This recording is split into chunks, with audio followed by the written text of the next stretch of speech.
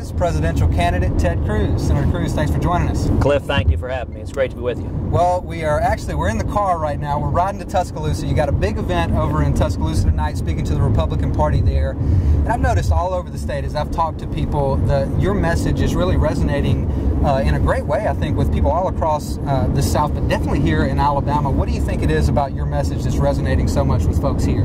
Well, you know, I'm really encouraged. Uh, as you know, a couple of weeks ago, we did a bus tour all across the South, and we had multiple stops throughout the state of Alabama, and, and the energy and excitement we've seen has been incredible.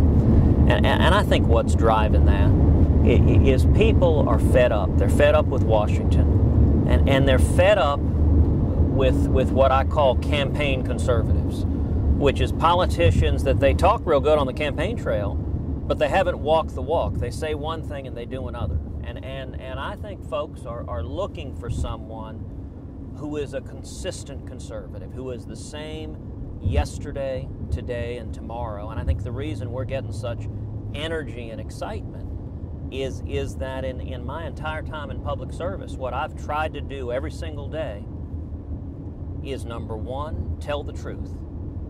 And number two, do what I said I would do. And, and, and I think that's, that's what people are looking for. Well, as we you know, for, as a conservative, as I look at the current administration, one of the things that disturbs me the most is an absolute disregard for the rule of law. Now, what's going on yes. with Hillary Clinton right now, I think is actually a test of whether or not we are still a nation of laws. Because can you rise to that level and still be held to account when you do things wrong? When you look at an issue like immigration, it's the right. same way. Right.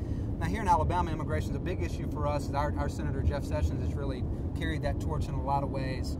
Uh, talk to us a little bit about uh, perhaps the restoration of the rule of law broadly, but specifically with, with regard to immigration and a Cruz administration. What could we expect there? Uh, well, absolutely. Uh, you know, one of the most disturbing parts of the Obama administration is this has been the most lawless administration we've ever seen. We've never seen a president who ignores the law, disregards the law, tries to unilaterally change the law, and defies the Constitution.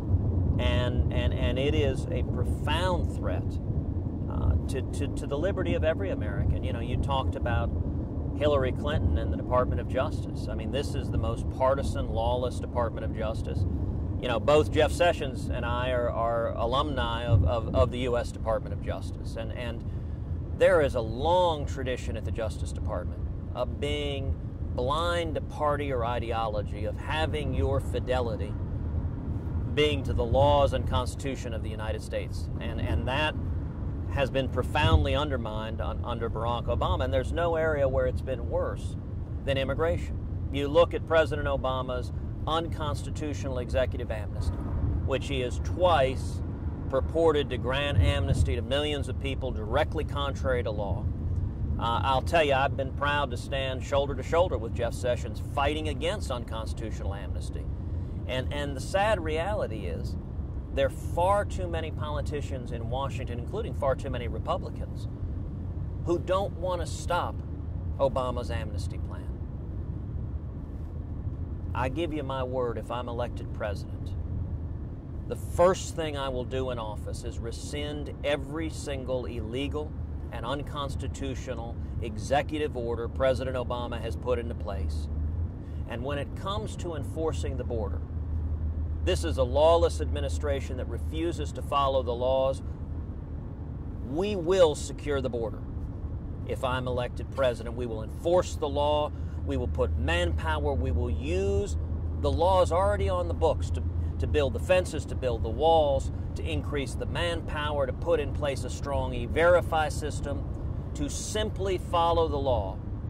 And we will also stop the Obama administration's indefensible practice of repeatedly releasing violent criminal illegal aliens. It is indefensible, it is wrong, and if I'm elected president, it will stop. Well, this leads me to probably my favorite question that I ask presidential candidates right now. I'm just going to openly admit I'm a, I'm a I, I, Jeff Sessions might as well put me on the payroll as his campaign manager for Attorney General because talking about a guy who get at the head of the Justice Department and restore faith in the rule of law, uh, we think about that. Jeff Sessions at the top of the, the Justice Department. Oh, I think Jeff Sessions would be extraordinary, to be honest, in a number of positions in a cabinet, and I think it would be a difficult choice uh, which would be the ideal place for him. I can tell you, in my time in the Senate, there have been very few people I have worked more closely with than Jeff Sessions. He is someone who stands up and fights for conservative principles. He fights for Alabama. He fights for the rule of law.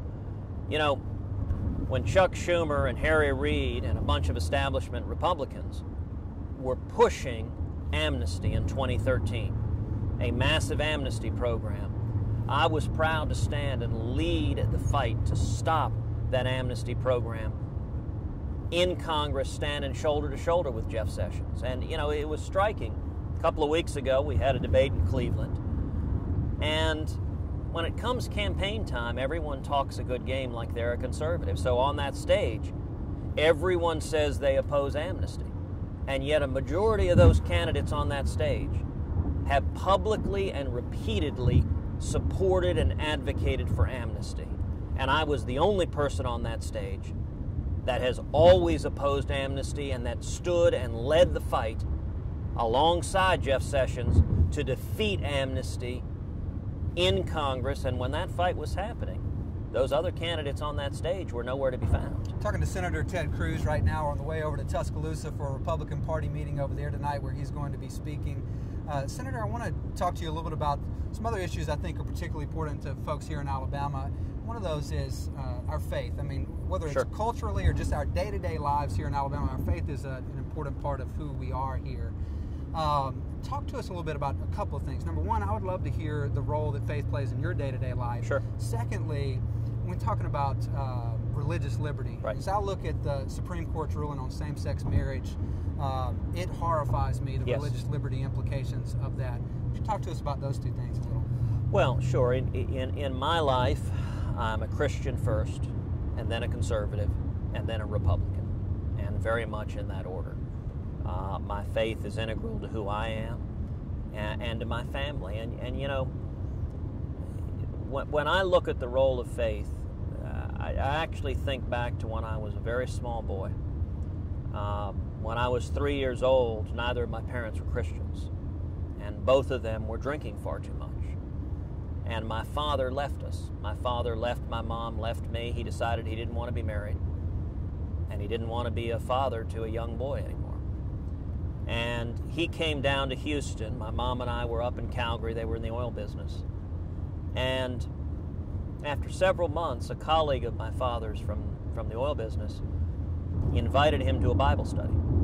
Uh, and he went to the Bible study, and then he went back the next week, and he ended up staying late into the night, arguing with a pastor, a pastor named Galen Wiley, who was the pastor of Clay Road Baptist Church. And stayed until late in the night. My father was convinced he knew better, he didn't need God. And late at night, as they were arguing, the final question he asked the pastor, he said, Okay, what about the man in Tibet who's never heard of Jesus? What about him? And Pastor Wiley very wisely didn't take the bait. He didn't argue that issue. And he just said, Rafael, I don't know about the man in Tibet, but you've heard of Jesus. What's your excuse? And that, my dad told me, just hit him like a, a ton of bricks. Yeah. And, and he fell to his knees from the chair he was sitting in. And he gave his life to Jesus. And, and it, it turned his life around. He drove to the airport, he bought an airplane ticket, and, and he flew back, back to Calgary and back to my mother and me. And, and so when people ask, is faith real? Is Jesus real? I can tell you if it were not for the redemptive love of Jesus Christ, I would have been raised by a single mom without my dad in the house. And, and that, that had an incredible impact on my family as it so happened just a couple of weeks ago on that same Southern bus tour we were talking about a minute ago. When we were traveling through Tennessee, that same pastor that led my father to Christ, Galen Wiley, he's now retired and living in Tennessee, and he, he showed up. And, and Brother Wiley, when I was eight, he baptized me. When I became a Christian, I gave my life to Jesus when I was eight, and Brother Wiley baptized me. But I hadn't seen him probably since I was about 10 years old. It's been, you know, 34, 35 years since I've seen him. And it, w- it was a powerful, powerful moment to, to see him again and just to embrace and hug him and thank him That's a great story. for sharing Yeah. the good news. That's awesome. We got a couple more minutes here with you. Uh, I want to step back more 30,000 foot view here. Just talk about the race as a whole. You know, it's been Sure. uh, quite a ride so far. Yeah. Uh, even in just a couple of months, uh, the Trump tsunami has kind of it's definitely made things interesting. But I think you step back from that, and, and just as a conservative, I say this is the best field of candidates that we've had in a long, long time. Absolutely. Uh, with all these guys in, in the race, what do you think it is about your, you Right. that, that separates you from everybody else that's in the race right now? Well, you are exactly right. We have a very talented field of candidates that are young and dynamic and inspirational. Um, I, I do think there are sharp differences. And if you look at the last debate, uh, coming out of the debate, um, what we saw was enormous momentum and energy for our campaign. In the 100 hours that followed the debate, we had $1.1 million contributed to our campaign as people went to tedcruz.org, contributed, signed up, volunteered.